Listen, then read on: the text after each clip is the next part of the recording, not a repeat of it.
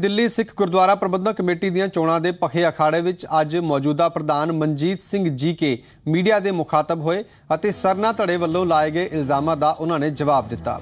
GK ਨੇ ਕਿਹਾ ਕਿ ਉਹਨਾਂ ਕਦੇ ਵੀ ਡੇਰਾ ਸਿਰਸਾ ਦੀ ਹਮਾਇਤ ਨਹੀਂ ਕੀਤੀ, ਬਲਕਿ ਉਹ ਹਮੇਸ਼ਾ ਹੀ ਡੇਰਾ ਸਿਰਸਾ ਦੇ ਖਿਲਾਫ ਝੰਡਾ ਬੁਲੰਦ ਕਰਦੇ ਰਹੇ ਨੇ। ਦਿੱਲੀ 'ਚ ਉਹਨਾਂ ਡੇਰਾ ਮੁਖੀ ਦੀ ਫਿਲਮ ਲੱਗਣ ਨਹੀਂ ਦਿੱਤੀ। ਇਸ ਦੇ ਨਾਲ ਹੀ ਉਹਨਾਂ ਉਸ ਚਿੱਠੀ ਦਾ ਵੀ ਜ਼ਿਕਰ ਕੀਤਾ, ਜਿਸ ਵਿੱਚ ਪਰਮਜੀਤ ਸਿੰਘ ਸਰਨਾ ਡੇਰਾ ਮੁਖੀ ਦਾ ਮੁਆਫੀਨਾਮਾ ਲੈ ਕੇ ਸ੍ਰੀ ਅਕਾਲ ਤਖਤ ਸਾਹਿਬ ਗਏ ਸਨ। ਉਹਨਾਂ ਸਰਨਾ ਤੋਂ ਸਵਾਲ ਪੁੱਛਿਆ ਕਿ ਸਰਨਾ ਦੇ ਡੇਰਾ ਮੁਖੀ ਨਾਲ ਕੀ ਰਿਸ਼ਤੇ ਨੇ?